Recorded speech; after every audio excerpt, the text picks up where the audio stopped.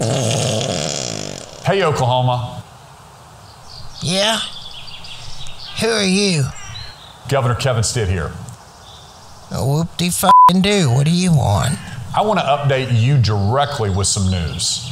Oh, well, holy shit. Hold on. Wait, wait till the hard on goes down. Um. What do you want, man? At the request of two Tulsa school board members, You take requests?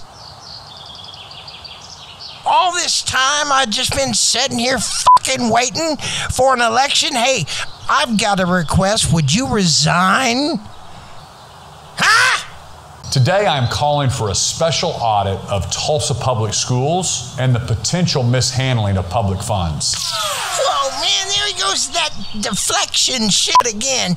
Man, you gotta warn me before you shoot that, you piece of shit.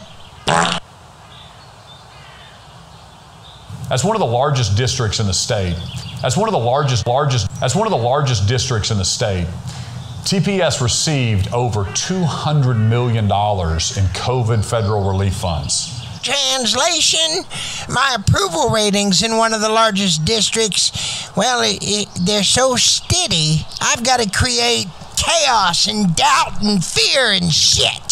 So here we go. Let's roll the dice. TPS also stayed closed the longest. And what largest district of geniuses didn't get themselves or their kids vaccinated?